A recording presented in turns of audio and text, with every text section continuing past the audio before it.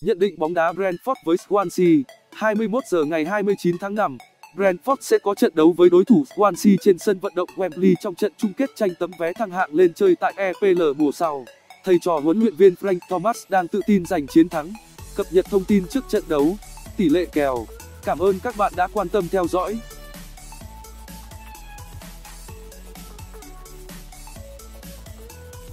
Đoàn quân của huấn luyện viên Frank Thomas đang có được phong độ thi đấu khá ổn định trong thời gian gần đây khi mà Brentford đã giành được 4 chiến thắng sau 5 trận đấu gần nhất.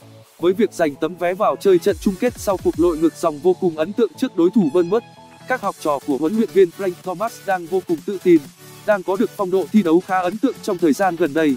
Thêm vào đó, những lần gần nhất đối đầu với Swansea, các cầu thủ Brentford cũng đang có được thành tích tốt khi họ đã giành được hai chiến thắng cùng hai trận hòa. Trong khi đó, các cầu thủ Swansea chỉ giành được một chiến thắng. Trong khi đó, đoàn quân của huấn luyện viên Steven Cooper cũng đang thi đấu khá ổn định trong thời gian gần đây khi mà Swansea đã giành được hai chiến thắng cùng hai trận hòa sau 5 trận đấu gần nhất.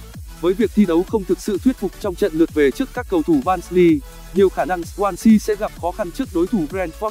soi kèo tài xỉu. Theo thống kê, những trận đối đầu gần nhất giữa hai đội đang có tỷ lệ hòa cao hơn.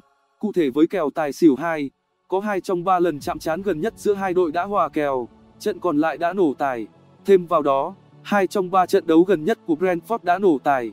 Do đó, các chuyên gia dự đoán khả năng trận đấu này sẽ nổ tài là khá cao. Kèo hiệp 1 với lợi thế sân nhà trong trận đấu này, đoàn quân của huấn luyện viên Frank Thomas sẽ là những người chủ động đẩy cao đội hình chơi tấn công và tạo ra nhiều cơ hội ăn bàn.